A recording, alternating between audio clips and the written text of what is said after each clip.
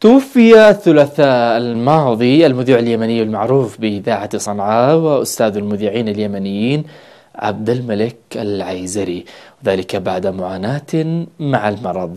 هذا وكانت قناة السعيدة قد أجرت معه مقابلة في العاشر من نوفمبر الماضي وهو على فراش المرض. بسم الله الرحمن الرحيم. هذا الصوت وفي زاوية صغيرة بين المرض وعدم الاهتمام أنشأ لنفسه بصحبة زوجته حياته الخالية بعد امتلاء.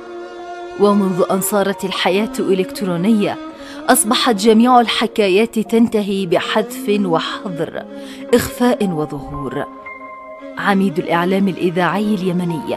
الأستاذ عبد الملك العيزري وبعد سنوات طوال من إفناء عمره في خدمة الوطن إعلاميا.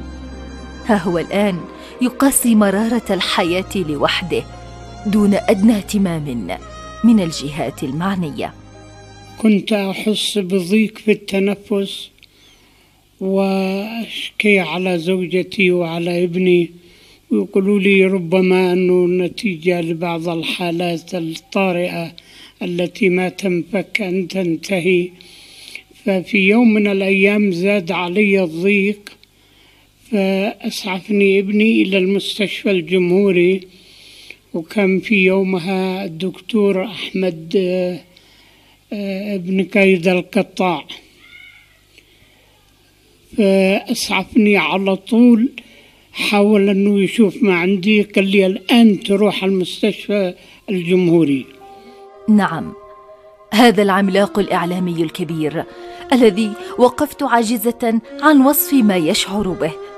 رغم تقاسمه معنا الأفراح والأحزان عبر إذاعة صنعاء وغيرها كنا معه نسترق من أيامنا لحظات جميلة أنار بها الحياة حتى انطفأ نور عينيه. ليكمل حياته مستندا على كتف شريكة عمره.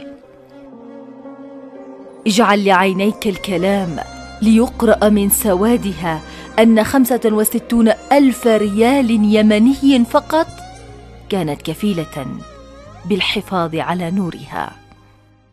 العيون العيون العيون بدأت كانت تأتيني ظلمة أشوف وأنا بين أشوف كذا كويس أشوف إلا حاجة زي الغيمة الظلمة كانت تأتي على الثنتين العيون. رحنا المستشفى وهذه قد سودت نهائيا. أنا فرحانة إني فرحة زوجي وراحة زوجي لما بدأوا الاتصالات والاهتمام المذيعين والإعلانيين اللي كانوا بيعرفوه من زمان. نفسيته تحسنت وترفع معنوياته. برام كان الأول كان بيعاني حالة نفسية كانت تعبانة جدا جدا يعني.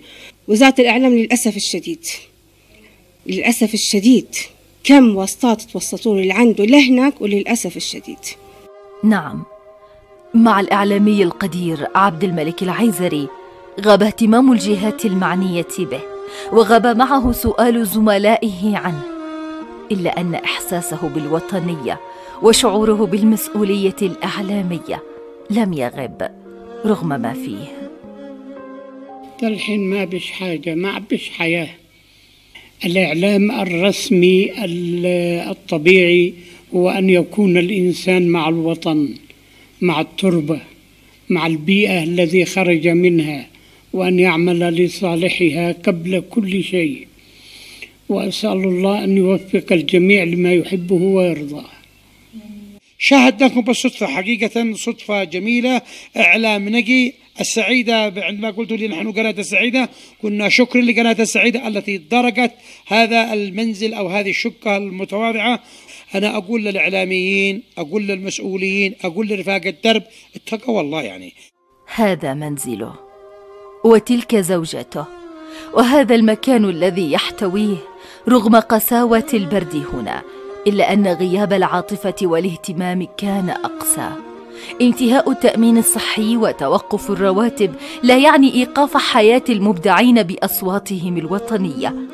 فإن غابت الماديات لابد وأن تبقى الإنسانية.